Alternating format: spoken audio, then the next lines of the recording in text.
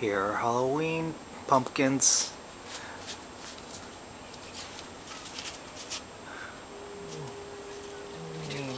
I'm standing here so the jack Okay. Okay. Ding.